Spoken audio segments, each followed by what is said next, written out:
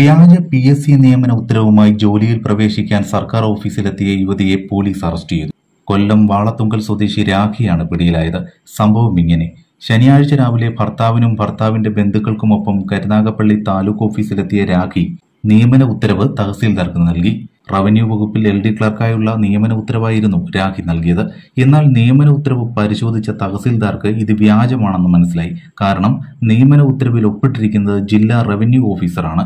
എന്നാൽ ഇത്തരത്തിലൊരു തസ്തിക റവന്യൂ വകുപ്പിൽ ഇല്ല. മാത്രമല്ല നിയമന ഉത്തരവിൽ ഒപ്പിടേണ്ടത് ജില്ലാ കളക്ടറുമാണ്.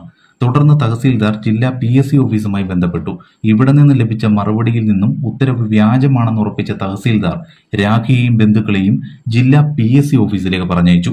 പി എസ് സി ഓഫീസിലെത്തിയ ഇവർ ഹാജരാക്കിയ റാങ്ക് ലിസ്റ്റ് അഡ്വൈസ് മെമ്മോ നിയമന ഉത്തരവ് എന്നിവ വ്യാജമാണെന്ന് കണ്ടെത്തിയ പി എസ് സി അധികൃതർ ഇവരെ തടഞ്ഞുവെച്ച ശേഷം പോലീസിൽ അറിയുകയായിരുന്നു. സ്ഥലത്തെത്തിയ പോലീസ് രാഖിയെ ചോദ്യം ചെയ്തെങ്കിലും ഒന്നും പറയാതെ നിൽക്കുകയായിരുന്നു ഇവർ.